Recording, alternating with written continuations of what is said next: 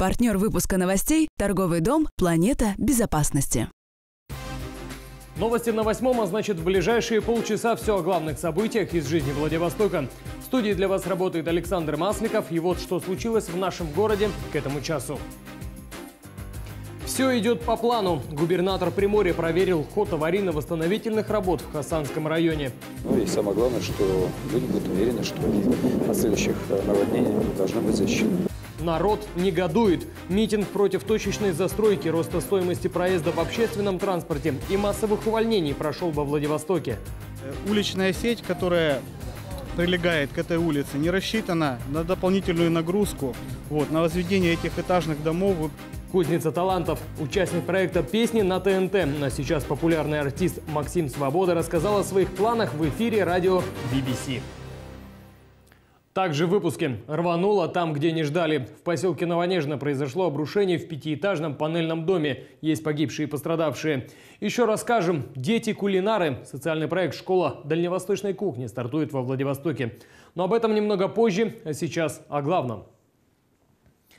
Президент России Владимир Путин поручил правительству до 15 ноября подготовить указ о национальной программе развития Дальнего Востока до 2025 года и на перспективу до 2035 года. Особое внимание должно быть обращено на ключевые цели и задачи развития ДФО. При этом экономический рост должен в полтора раза превысить среднее значение по стране, а уровень жизни стать выше среднероссийского. Программа также должна предусматривать остановку оттока населения с Дальнего Востока. Более того, программа должна привлечь в регион молодежь, сформировать центры высоких технологий и обеспечить сбережение уникальных экосистем. Аварийно-восстановительные работы в Хасанском районе идут по графику. Губернатор Приморья Олег Кожемяков в ходе рабочей поездки в муниципалитет проверил, как выполняются поручения по восстановлению инфраструктуры сел Хасанского района после прошедших в крае ливневых дождей. Напомним, именно юг края сильнее всего пострадал в этом году от стихии. Подробности далее в выпуске. Хасанский район сильнее других пострадал от тайфунов в августе. Здесь действовал режим ЧС. На ликвидацию последствий стихии муниципалитет получил 130 миллионов рублей. Олег Кожемяка побывал у дома номер 8 по улице Советская в Безверхово. Из-за схода селей здесь были повреждены подъезд и несколько квартир первого этажа. Сейчас продолжается ремонт дома и пострадавших помещений. Ведется благоустройство территорий и строительство подпорной стены. После предыдущего визита главы региона администрация района ускорила темпы работы работ и устранила все недочеты, названные местными жителями. По дому, я вижу, работы идут э, в графике, вот, каких-то отклонений нет. Думаю, что к концу октября, начале ноября уже квартиры будут э, сданы. Также и то, что касается этой насыпи, есть э, здесь некоторые проектные решения вот, и по водоотведению, и по укреплению этой стенки. Я думаю, что в соответствии с проектом они будут выполнены. Мы периодически сбываем, смотрим. Вот, ну и самое главное, что люди будут уверены, что они от следующих наводнения должны быть защищены. Сейчас в Безверхово ведутся работы и по дорогам. Подключился Примавтодор. На следующий год в план включат асфальтирование центральных улиц, а за 2-3 года завершат ремонт дорог по всему селу. Также губернатор посетил проблемный дом номер 26 по улице Янковского. В здании отсутствует централизованное водоснабжение, нет энергоснабжения. Глава края поручил в ближайшее время все исправить. Безусловно, необходимо сделать электроразводку, которая не менялась с 1984 года. Необходимо а, сделать э, водопровод Потому сегодня люди э, воду э, подают там, на второй этаж э, путем там, приспособленных насосов. Там, люди пожилые проживают там, те, кто раньше работал на заставах. Поэтому, конечно, мы сейчас дадим поручение главе района чтобы он заключил соответствующие контракты и привел это в порядок. Еще один социально важный объект, который восстанавливает после ЧС – Хасанская районная больница. Здесь реконструируют подъездные пути. Ремонт больницы уже начат и будет завершен до конца года. На эти цели из краевого бюджета было направлено около 25 миллионов рублей. Дмитрий Беломестнов, новости на восьмом. Приморье главный единорос уходит со своего поста. О своем решении сложить полномочия секретарь Приморского регионального отделения партии «Единая Россия» Людмила Талабаева объявила на личной странице Facebook. Заявление с просьбой освободить ее от должности связано с состоянием ее здоровья и занятостью по основному месту работы в Совете Федерации. Подала заявление в ЦИК партии с просьбой освободить меня от должности секретаря Приморского регионального отделения «Единой России». Прошу понять меня правильно и не строить больше конспирологических версий. Считаю свое решение оправданным. Написала на своей странице секретарь партии. Людмила Талабаева подчеркнула, что выполнила свои основные задачи. Это выбор губернатора и организация коллективной партии. По ее словам, все сейчас готовятся к выборам в Госдуму в 2021 году. Сейчас секретарь регионального отделения не знает, кто ее сменит. Это решение будет принято только в ноябре.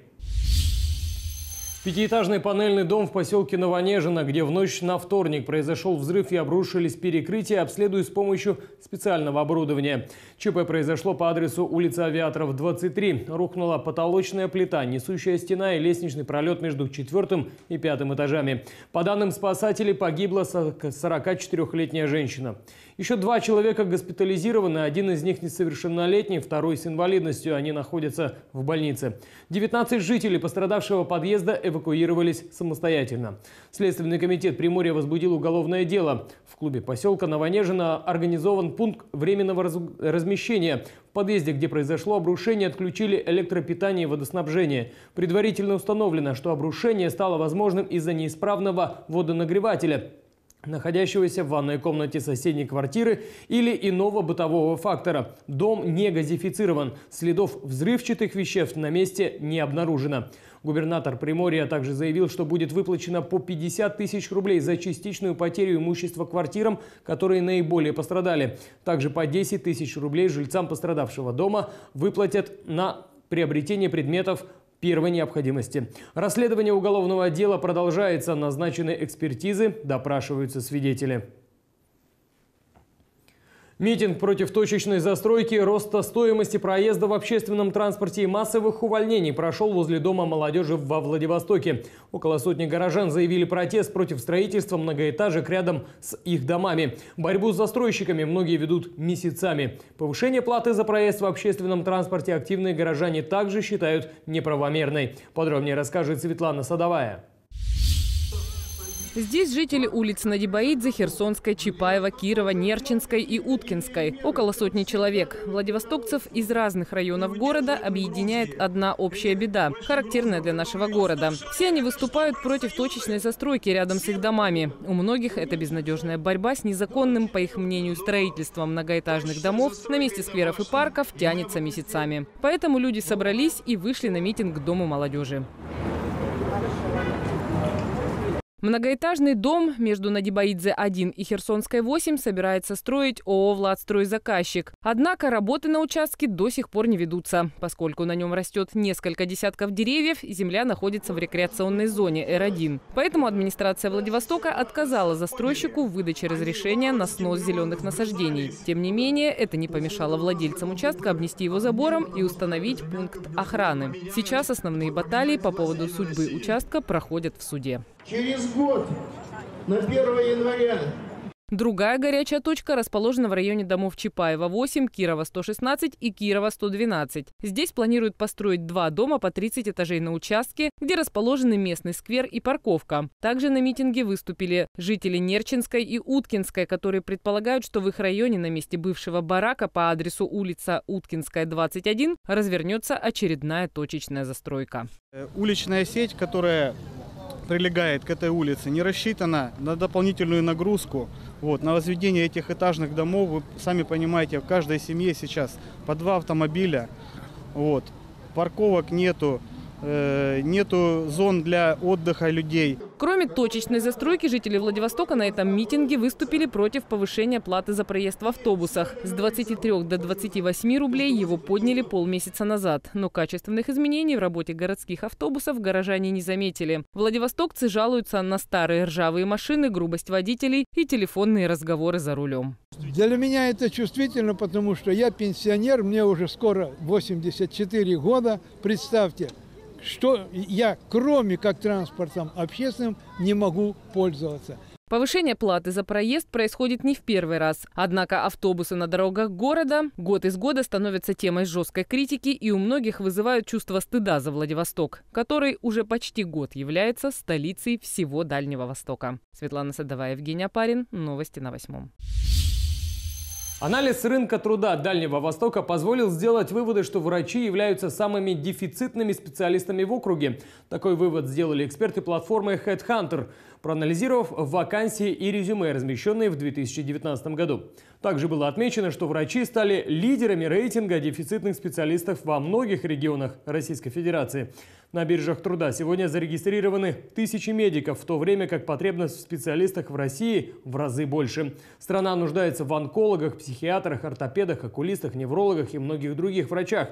По данным Минздрава, только поликлиники испытывают дефицит в 25 тысяч врачей и 130 тысяч медсестер. Как считают в Минздраве, временным разрешением ситуации может стать привлечением в Россию мигрантов, имеющих врачебную специальность.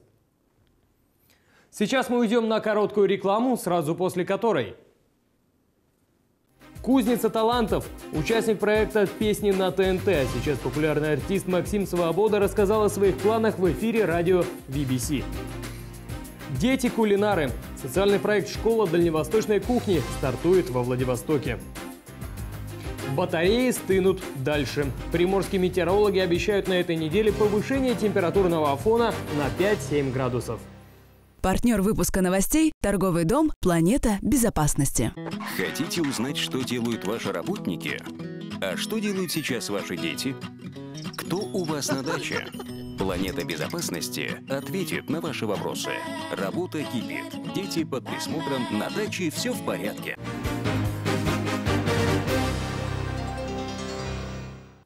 С вами по-прежнему Александр Масликов, и мы продолжаем. Кузница талантов. Участник проекта «Песни на ТНТ», а сейчас популярный артист Максим Свобода рассказал о своих планах в эфире радио BBC. Дети-кулинары. Социальный проект «Школа дальневосточной кухни» стартует во Владивостоке. Батареи стынут дальше. Приморские метеорологи обещают на этой неделе повышение температурного фона на 5-7 градусов. Участник проекта «Песни на ТНТ», а сейчас популярный артист Максим Свобода прибыл с сольным концертом во Владивосток. Перед выступлением певец стал участником шоу «Экватор» на радио VBC, где рассказал о новом альбоме, творческих планах и личной жизни. Подробности у Катерины Матвеевой. Все неизбежно бежит к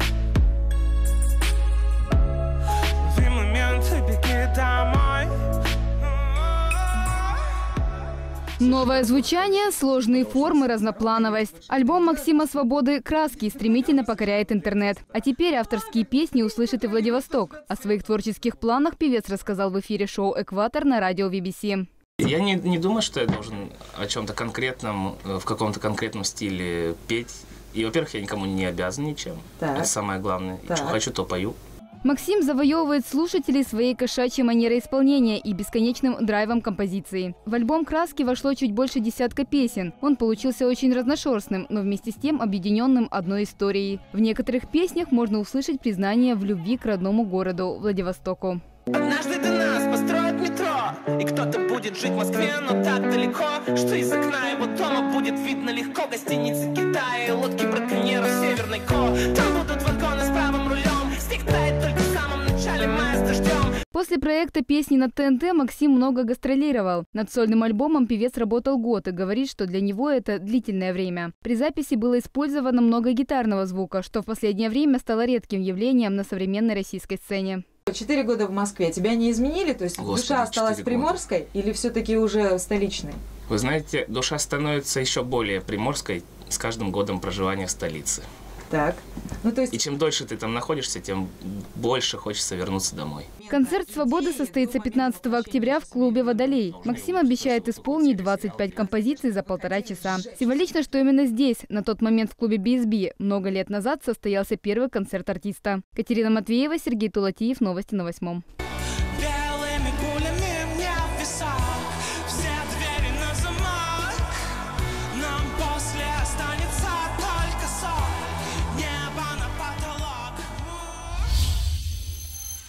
Социальный проект «Школа дальневосточной кухни» стартует в Приморье. Реализация этого проекта стала возможной благодаря победе в конкурсе Фонда президентских грантов и помощи партнеров проекта. Огромную поддержку оказывают и рестораны Владивостока, и прежде всего сами шеф-повара, которые откликнулись на инициативу проводить мастер-классы не только во Владивостоке, но и в отдаленных центрах содействия семейному устройству, расположенных в крае. На днях состоялся первый мастер-класс в Центре содействия семейному устройству «Находки». Шеф-повар ресторана русской кухни «Гусь-Карась» рассказывал о тонкостях приготовления пельменей с красной рыбой, вареников с ягодой, а также с удовольствием отвечал на вопросы детей со своей профессиональной точки зрения. Цель проекта – показать ценность локальных продуктов и вырастить поколение здоровых детей. В рамках школы шеф-повара ресторана Владивостока учат готовить детей, оставшихся без попечения родителей и проживающих в центрах содействия семейному устройству Приморского края. И делятся секретами профессии. Будет проведено 16 кулинарных мастер-классов для 240 детей от 12 до 16 лет – Организаторы выбрали доступные дальневосточные продукты и отработали пошаговые рецепты приготовления блюд. Земля леопарда призывает к особой внимательности водителей, посещающих Хасанский и Надеждинский районы. Кроме того, в преддверии нового охотничьего сезона ученые напоминают – Случайная ошибка на охоте может по закону обернуться серьезными последствиями. Накануне в районе поселка Краскино заметили самку дальневосточного леопарда и двух котят, которые вышли за пределы национального парка. Специалисты связывают это с ростом популяции, поэтому эти кошки все чаще фиксируются вне особо охраняемых природных территорий. Помимо этого, ученые напоминают, что человеку нечего опасаться. В отличие от амурского тигра, дальневосточный леопард не нападает первым на человека. Необходимо с пониманием относиться к таким встречам и ценить подобное соседство. Приморские метеорологи обещают на этой неделе перестройку синаптических процессов. В середине недели ядро азиатского антициклона сместится к югу, а над северными районами Дальнего Востока станет смещаться циклон и перекроет заток холода на юг.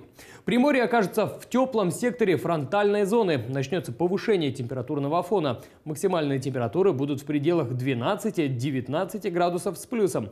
Во Владивостоке погода порадует отсутствием осадков. Если начало недели было холодным и ветреным, а температура держалась ниже климатической нормы на 3-4 градуса, то середины недели ветер ослабеет. Температурный фон начнет начнет повышаться. К концу недели станет теплее на 5-7 градусов относительно первых двух дней. В крае к предстоящим выходным столбики термометров днем могут подниматься до 15-18 тепла. Инвалиды Приморья встретились на чемпионате по шахматам и шашкам. Интеллектуальные игры собрали колясочников, людей с ДЦП и даже незрячих спортсменов. Партии за черно-белой доской, по мнению врачей, являются хорошей профилактикой для людей с ограниченными возможностями. Подробнее расскажет Максим Яковлев.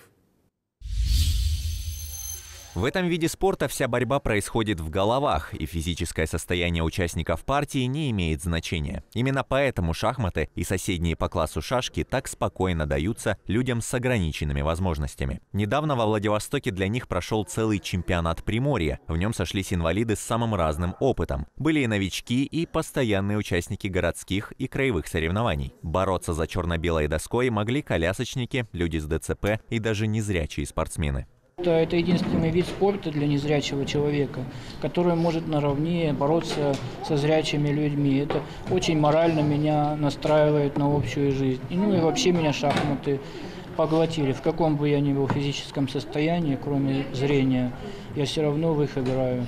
Сегодня роль интеллектуальных игр в жизни инвалидов и пожилых людей изучают целые институты. Например, недавно врачи выяснили, что занятие шахматами позволяет избавить таких мужчин и женщин от слабоумия и болезни Альцгеймера. Этот древний вид спорта также дает жизненную силу нейронам в мозге, способствует развитию интеллекта и поддерживает в тонусе здоровье человека. Всем известно, что любое общение, любые встречи для таких людей это очень важно.